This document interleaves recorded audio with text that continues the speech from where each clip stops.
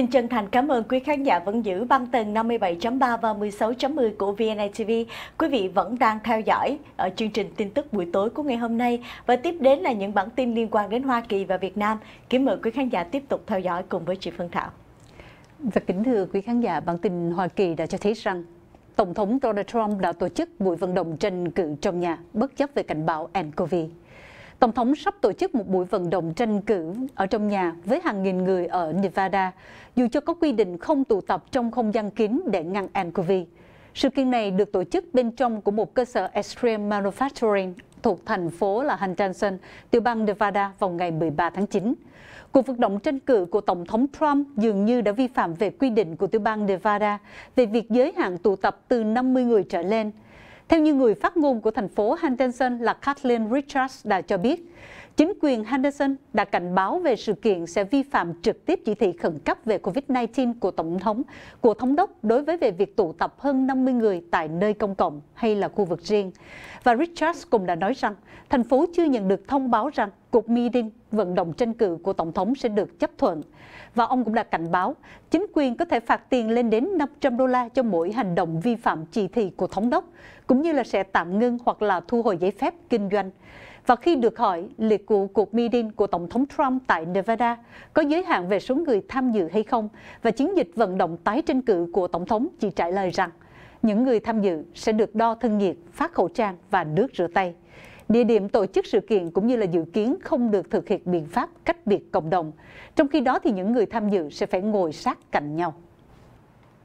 BitDance không bán thuật toán TikTok cho Mỹ. BitDance là công ty mẹ của TikTok, sẽ không chuyển giao thuật toán của ứng dụng này trong bất kỳ thỏa thuận bán hoặc thoái vốn nào tại Mỹ. Nguồn tin giấu tên tham dự cuộc họp của BitDance ngày hôm nay cho hay có thể bán chiếc xe nhưng không thể bán máy móc. BitDance sẽ không giao thuật toán cho bất kỳ người mua nào ở Mỹ, nhưng nhóm công nghệ của TikTok ở Mỹ có thể phát triển một thuật toán mới. Theo nguồn tin, BitDance sẽ thông báo cho giới chức Mỹ và các nhà thầu tiềm năng về quyết định này. Nếu Tổng thống Donald Trump từ chối điều kiện trên, TikTok sẽ dừng hoạt động ở Mỹ sau hạn chót là ngày 15 tháng 9. Chính quyền của Tổng thống Trump đã đặt hạn chót để BitDance bán các hoạt động của TikTok tại Mỹ hoặc dừng hoạt động. Nguồn tin cho hay việc không chuyển giao thuật toán hiện là điều kiện mấu chốt cho bất kỳ cuộc thảo luận nào về việc bán hoặc tái cấu trúc TikTok sau khi chính phủ Trung Quốc sửa đổi điều khoản kiểm soát xuất khẩu. Một nguồn tin cho hay, chính phủ Trung Quốc vào ngày 28 tháng 8 áp dụng các điều luật sửa đổi trong danh sách sản phẩm công nghệ được xuất khẩu để ngăn TikTok bị bán lại. Theo đó, thì các công nghệ như thuật toán của TikTok phải được Trung Quốc cấp phép chính thức trước khi được bán hoặc chuyển giao cho nước ngoài. BitDance cho biết họ đã tuân thủ nghiêm ngặt quy định này. Và tỷ phú Bloomberg đã tính giúp đỡ 100 triệu đô la cho ông Joe Biden để đối phó với Tổng thống Trump. Tỷ phú Bloomberg đã một có một kế hoạch là chi ít nhất 100 triệu đô la ở Florida để giúp cho ứng cử viên của đảng Dân Chủ Joe Biden giành chiến thắng tại tiểu bang chiến trường này. Washington Post đã dẫn lời của các cố vấn là Michael Bloomberg, người đã chi hàng trăm triệu đô la để tranh về ứng cử ứng viên tổng thống của đảng Dân Chủ vào năm 2020 trước khi bỏ cuộc và cho biết rằng tỷ phú đã đưa ra quyết định vào tuần trước sau khi có thông tin cho Tổng thống Donald Trump đang xem xét về việc chi 100 triệu đô la tiền túi cho chiến dịch tranh cử của ông. Theo như các cố vấn, trong những cuộc đua thăm dò tại Florida gần đây cho thấy tỷ lệ ủng hộ của ông Trump và ông Joe Biden ngày càng xích sao, nên ông Bloomberg nghĩ rằng đó là một tiểu bang phù hợp để tập trung vào nguồn lực giúp đỡ ông Joe Biden. Người cố vấn Calvin Shirley cũng đã nói, người Florida đã bắt đầu bỏ phiếu từ ngày 24 tháng 9, nên về việc nhanh chóng rót vốn vào tiểu bang, đó là một nhu cầu uh, cấp thiết. Michael đưa tin rằng đầu tư vào Florida sẽ cho phép các nguồn lực chiến dịch và các nguồn lực khác của đảng Dân Chủ được sử dụng tại các tiểu bang khác, đặc biệt là tiểu bang Pennsylvania. Vào ngày 8 tháng 9 thì Tổng thống Trump cho biết ông sẵn sàng chi tiền túi cho chiến dịch tranh cử nếu cần nhưng hiện không cần là vậy, vì chiến dịch tranh cử của ông đã huy động được nhiều tiền hơn so với năm 2016. Một cựu phi công nói UFO đã gây nhiễu radar. Trung tá David Fravor là phi công của tiêm kích nói UFO có hành động như gây chiến khi chủ động gây nhiễu radar trong lần chạm mặt vào năm 2014. Trung tá David Fravor là phi công của Hải quân. Hồi tháng 11 năm 2014 nhận lệnh xuất kích để kiểm tra không phận sau khi nhân viên vận hành radar thông báo phát giác một số bất thường trên bầu trời ngoài khơi bờ biển California. Các phi công bay cùng với Fravor quay được một video về một vật thể bay không xác định UFO. Các đoạn video Video này xuất hiện trên YouTube từ cuối năm 2017 và được ngũ giác đài giải mật hồi tháng 4. Fravor là người đã nghỉ hưu, kể lại trong một cuộc phỏng vấn với chuyên gia Flex Friedman, là người của Viện Công nghệ Massachusetts MIT vào ngày 8 tháng 9. Lần chạm trán này không giống kiểu chúng tôi nhìn thấy, rồi nó biến mất, hay tôi thấy ánh sáng trên bầu trời, rồi nó biến mất Chúng tôi, bốn phi công được đào tạo về kỹ năng quan sát, đã nhìn thấy UFO trong một ngày quang đảng. Và cựu phi công nói mỗi khi ông điều khiển chiếc tiêm kích FA-18 Super Hornet tiến gần vào vật thể hình con nhộng này, nó đều tăng tốc nhanh chóng rồi biến mất trong chưa đầy một giây. Fravor nói, tôi nói với người ngồi ở ghế sau rằng, này anh bạn, tôi không biết anh thế nào, nhưng tôi thấy thật kỳ quái. Và hạm đội Thái Bình Dương cũng đã diễn tập rầm rộ gần với đảo Guam. Hạm đội Thái Bình Dương vào ngày 11 tháng 9 đã thông báo về cuộc diễn tập Valiant Shields thường niên lần thứ 8 được dự kiến sẽ tổ chức ngoài khơi của đảo Guam từ ngày 14 cho đến ngày 25 tháng 9 với sự tham gia của hơn 11.000 quân nhân và trên 100 máy bay. Về tàu chiến thì Valiant Shields năm nay đã tiếp tục chứng kiến sự gấp mặt của hàng không mẫu hạm USS Ronald Reagan, tàu tấn công đổ bộ USS America và tàu vận tải đổ bộ USS New Orleans thuộc lớp San Antonio và tàu đổ bộ USS Germantown thuộc lớp West Island cùng với nhiều chiến hạm khác. Không quân, lục quân và thủy quân lục chiến cũng tham gia các hoạt động diễn tập lần này. Mà theo như hạm đội Thái Bình Dương, đây là một sự thúc đẩy nhằm hợp tác chiến đấu giữa các lực lượng Hoa Kỳ. Theo như trang Navy.mil đã dẫn lời của chuẩn đô đốc Michael Boyle, là giám đốc về các chiến dịch hải quân của hạm đội Thái Bình Dương cho biết, các hoạt động tập trận như là Valiant Shields đã mang đến cơ hội cho các lực lượng Hoa Kỳ diễn tập về các khái niệm chiến đấu hỗn hợp, như là các chiến dịch của nhóm tấn công có sự phối hợp tất cả các lực lượng trong một môi trường huấn luyện hiện đại nhằm liên tục thay đổi năng lực chiến đấu. Iran bị tố cáo là mưu sát đại sứ Mỹ để trả thù cho Soleimani. Hai quan chức giấu tên cho rằng Iran đang cân nhắc một vụ ám sát nhằm vào đại sứ Mỹ tại Nam Phi để trả thù cho tướng Soleimani. Thông tin về âm mưu ám sát của Iran xuất hiện khi Tehran vẫn tiếp tục tìm cách trả đũa việc Tổng thống Donald Trump ra lệnh hạ sát tướng Qasem Soleimani hồi đầu năm. Và theo một quan chức chính phủ am hiểu vấn đề và một quan chức đọc được các báo cáo tình báo về sự việc, các quan chức cho biết nếu được thực hiện, vụ ám sát có thể làm gia tăng căng thẳng vốn đã nghiêm trọng giữa Mỹ và Iran, đồng thời tạo ra áp lực lớn buộc Tổng thống Trump phải đáp trả, có thể là giữa mùa bầu cử căng thẳng. Giới chức cho biết về mối đe dọa đối với đại sứ Mỹ tại Nam Phi là Lana Marx từ mùa xuân. Tuy nhiên, thông tin tình báo về mối đe dọa trở nên cụ thể hơn trong những tuần gần đây. Các nguồn tin khẳng định Đại sứ quán Iran ở Pretoria, một trong ba thủ đô của Nam Phi, liên quan đến âm mưu này. Và tiếp theo xin kính mời quý khán giả đến với một vài thông tin về tin Việt Nam. Bộ trưởng Ngoại giao của Hàn Quốc đã đến thăm Việt Nam vào tuần sau. Bộ trưởng Ngoại giao Hàn Quốc có tên là Khan Kyung-hwa đã dự định đến thăm Việt Nam, sẽ hội đàm với người đồng nhiệm của Việt Nam về các vấn đề quan hệ song phương trong hạ tuần của tháng 9. Hãng tin của Yonhap vào ngày 11 tháng 9 cũng đã dẫn nguồn tin từ cơ quan ngoại giao cho biết thông tin nêu. Tin cho biết rằng bà Bộ trưởng Ngoại giao Khan Kyung-hwa đã đến thăm Việt Nam trong hai ngày và sẽ lên đường vào thứ Năm ngày 17 tháng 9. Theo như lịch trình dự kiến thì bà Khan sẽ có cuộc gặp với Bộ trưởng Ngoại giao Phạm Bình Minh và bà cũng đã kêu gọi chính phủ Việt Nam đơn giản hóa về quy trình nhập cảnh, giúp đỡ cho việc đi lại và làm việc giữa Hàn Quốc và Việt Nam được thuận tiện hơn. Hàn Quốc được nói là đã cố gắng thuyết phục các quốc gia bên ngoài thiết lập quan hệ hệ thống nhập cảnh nhanh cho các doanh nhân của họ. Trung Quốc và Singapore cũng đã thiết lập về các thủ tục như vậy và bà Khan cũng đã kêu gọi Việt Nam tạo ra một chương trình tương tự.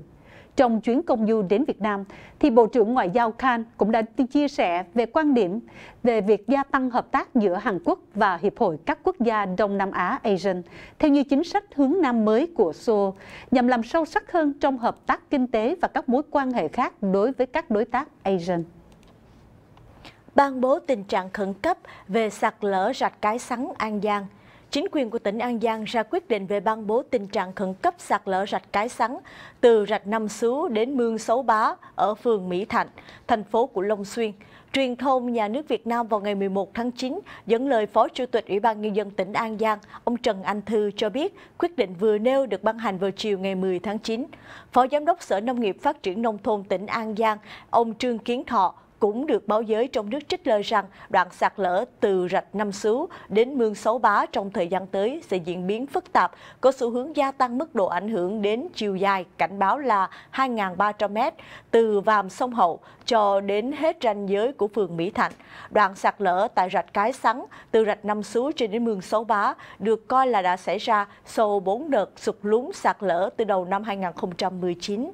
Lần mới xảy ra nhất là vào cuối tháng 5 vừa qua, xuất hiện sụt lún trượt mái bờ chiều dài tới 175 m với lại vết nứt rộng 1 đến 3 cm ở ngay khu dân cư sinh sống tập trung.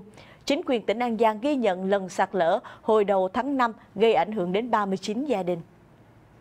Và Fitch cũng đã xếp hạng về tín nhiệm độc lập của Tập đoàn Dầu khí Quốc gia Việt Nam, ổn định ở mức là BB. Fitch Ratings là tổ chức chuyên về xếp hạng tín dụng quốc tế, vừa đã công bố kết quả đánh giá tín nhiệm độc lập của Tập đoàn Dầu khí Quốc gia Việt Nam ở mức là BB. Xếp hạng nhà phát hành công cụ nợ dài hạn bằng ngoại tệ IDR lần đầu tiên cũng ở mức BB với triển vọng ổn định. Fitch cũng đã đánh giá hồ sơ tín dụng độc lập SCP của Tập đoàn Dầu khí ở quốc gia Việt Nam ở mức là BB cộng, phản ánh về hồ sơ tài chính thận trọng đa dạng hóa của công ty. Fitch cũng đã đánh giá về trạng thái quyền sở hữu và yếu tố kiểm soát của Tập đoàn Dầu khí Quốc gia Việt Nam là rất mạnh. Các mục tiêu của Tập đoàn Dầu khí Quốc gia Việt Nam do chính phủ đặt ra và phê duyệt. Nhưng sự điều hành của Tập đoàn Dầu khí Quốc gia Việt Nam do nhà nước bổ nhiệm, Thủ tướng bổ nhiệm Chủ tịch Tập đoàn Dầu khí Quốc gia Việt Nam. Fitch cũng đã đánh giá về tác động chính trị xã hội của Tập đoàn Dầu khí Quốc gia Việt Nam vỡ nợ là rất mạnh bất kỳ sự gián đoạn nào trong hoạt động của Tập đoàn Dầu khí Quốc gia Việt Nam sẽ có tác động quan trọng đến chuỗi giá trị năng lượng của Việt Nam. Và Fitch cũng đã đánh giá về những tác động chính trị xã hội của việc vỡ nợ là rất mạnh đối với Tập đoàn Quốc gia Dầu khí Việt Nam là cao hơn một chút so với Tập đoàn Điện lực Việt Nam EVN. Thừa Thiên Huế đã triệt phá đường dây buôn bán vận chuyển ma túy liên tỉnh. Phòng Cảnh sát điều tra tội phạm về ma túy Công an tỉnh Thừa Thiên Huế vào ngày 11 tháng 9 cho biết vừa phá thành công vụ án buôn bán ma túy có quy mô lớn cả nước, bắt giữ hai người và thu giữ số lượng lớn ma túy. Truyền thông nhà nước Việt Nam loan tin cùng ngày cho biết vào ngày 10 tháng 9, cơ quan cảnh sát điều tra đã kiểm tra một phòng trọ trên đường Lê Ngô Cát, thành phố Huế và phát giác ra anh Lê Văn Đạo sinh năm 1990 đang có hành động tàn trữ trái phép chất ma túy. Cảnh sát khám xét nơi ở và thu giữ hơn 3.000 viên ma túy và hơn 2.000 gram ma túy tổng hợp dạng khay. Và theo cơ quan điều tra, thì người này là một mắt xích nhỏ trong cả đường dây quy mô lớn liên tỉnh được che giấu rất tinh vi. Cơ quan điều tra còn cho biết số lượng ma túy không chỉ cung cấp cho con nghiện tại Huế mà còn phân phối ở nhiều tỉnh thành phía Nam.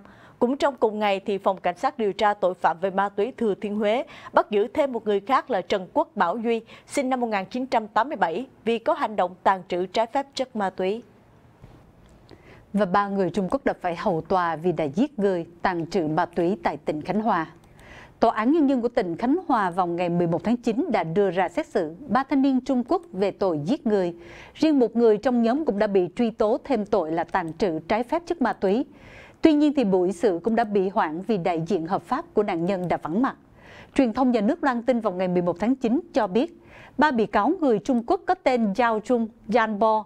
Các cáo trạng cũng cho biết vào 9 giờ tối ngày 5 tây tháng 7 năm 2019, thì nhóm ba thanh niên Trung Quốc đã cùng với hai người thanh niên Trung Quốc khác có tên là Tian Jolian và Tan Suake hát karaoke tại phòng số 806, karaoke Sinh Sinh thuộc tầng 4 của Nha Trang Center, địa chỉ là 20 đường Trần Phú, Nha Trang, Khánh Hòa. Tại quán karaoke này thì nhóm người Trung Quốc đã xảy ra sự mâu thuẫn và đánh nhau nhóm bị cáo đã lấy một con dao bằng kim loại dài 30cm tại quầy thu ngân karaoke Sing Sing và chém nhiều nhát vào hai thanh niên Trung Quốc kia. Nhóm người cũng đã khai nhận đã trả tiền cho một người Việt Nam có tên là Triệu Văn Xuyên để đưa vào lãnh thổ Việt Nam với giá khoảng là 2.3 triệu đồng cho mỗi người. Ông Xuyên cũng đã bị cảnh sát bắt khẩn cấp sau đó. Và kính thưa quý khán giả, vừa rồi là những bản tin của ngày hôm nay và tiếp đến là phần dự báo thời tiết. Kính mời quý vị theo dõi ngay sau đây.